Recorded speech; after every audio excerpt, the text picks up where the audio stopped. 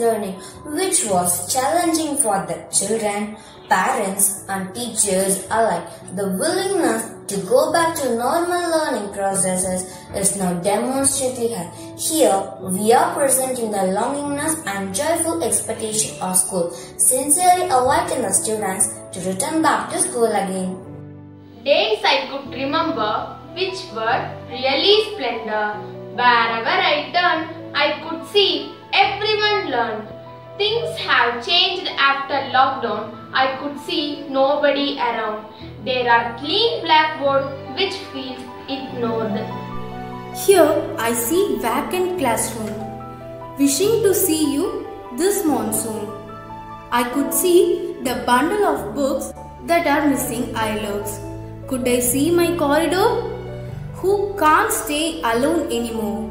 It's something where we embraced. Dozens of dreams a place to see.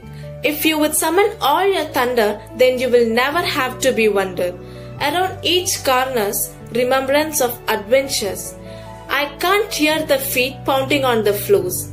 Everything here is remembering my kitty's golden feet. Every single time and every moment asking, Where is my dreamer's meticulous sounds? I'm none other. This is your school waiting to be together. Thank you.